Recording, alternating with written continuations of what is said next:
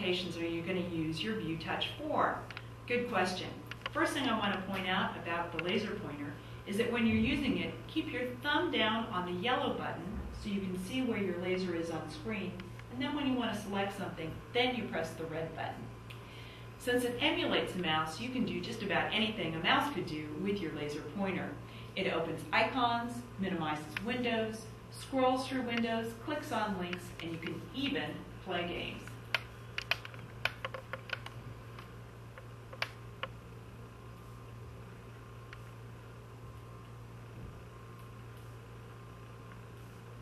View Touch is capable of accepting either a single click or a double click to select icons.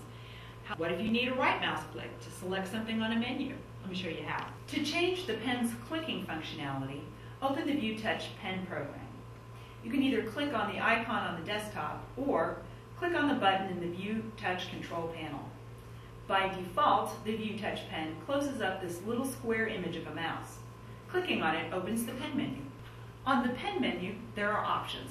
Let's start with swapping between the left mouse click and the right mouse click. Select Swap, and your next mouse click will be interpreted as a right mouse click. Then it will go back to being a left mouse click. The question mark displays the manufacturer and software version. And the X button, well, it closes the pen software. One of the most popular functions of the pen is the annotation program. If you click on the pen menu, you can go down and select the color of the pen that you want to draw with. After you selected it, you can go up and draw with that color. If you want to erase what you've done, you can just click on the trash can. You can use the colors to highlight some information, draw something, illustrate a point that you're making as you speak. Click on Undo. Let me draw a couple circles here. And then you can click on Undo if you want to get rid of something, or Redo if you want to put them back. And when you're done, if you want to get rid of everything, you can hit the trash can and they're gone. Say you've got something on screen you really want to save. Go to the pen menu and select the save icon, and then you can save it as either a bitmap or a JPEG file. You'll notice that there are two arrows on the View Touch pen menu. What are those for? Well, if you're familiar with using PowerPoint, you know that a single click advances the slides to the next slide. Maybe that's not what you want to do. Well, let me show you how to change that.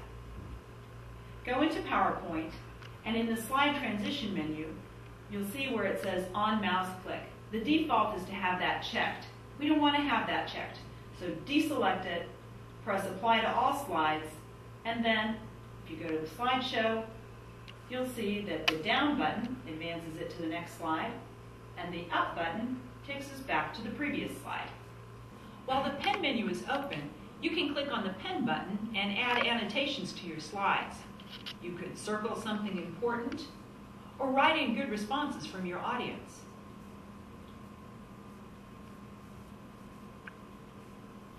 You can also still use all your PowerPoint tools. You could select the highlighter and highlight something.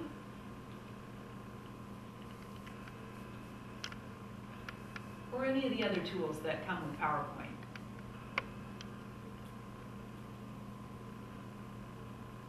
You've got choice. Now that we've seen what ViewTouch can do with the pen, let's see what it can do without the pen. First, let's pick a program, such as Paint. Then we pick a tool and a color. And then maybe a fill color. One more tool. Let's see, paintbrush.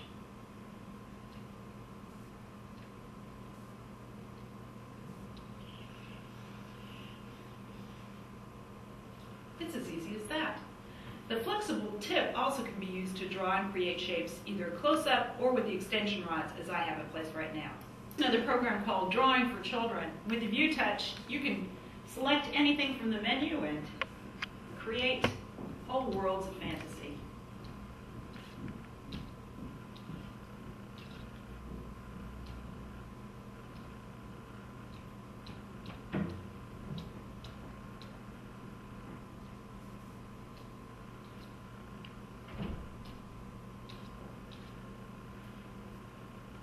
And erase any mistakes you've made. Another great application, letters.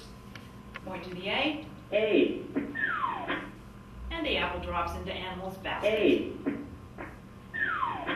The View Touch is so simple, even kindergartners can use it. Another useful capability is using screen for writing. Handwriting recognition is a popular application. Applications such as Word actually support handwriting, but you'll have to install it since it isn't the default. You'll need your MS Office installed. Once open, the handwriting recognition menu will be located on your taskbar down here.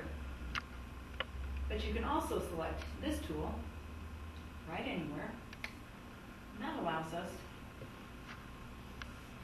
to write anywhere within our application. And it will translate it into text. Say I wanted to add an image as well.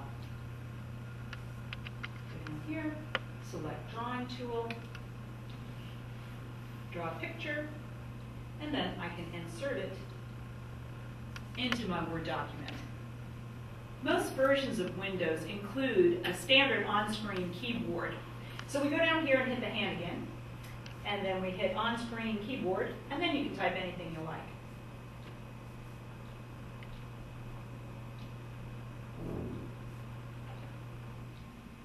A touch screen can supplement the functionality of the View Touch with any of the programs we've seen demonstrated today. The greater resolution of the Magic Touch really enhances the drawing and writing capabilities.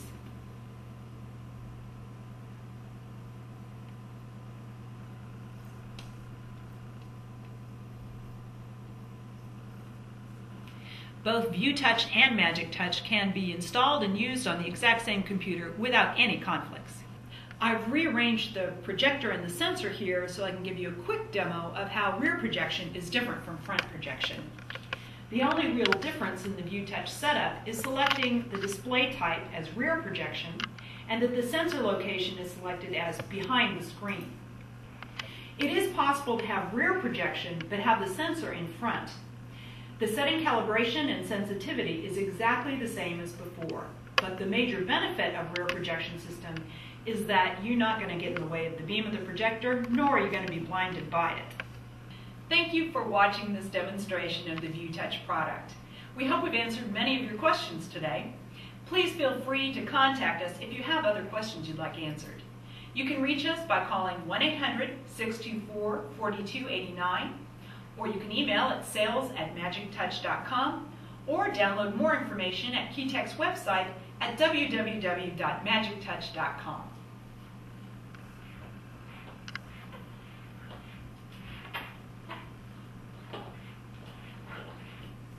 Thanks for watching.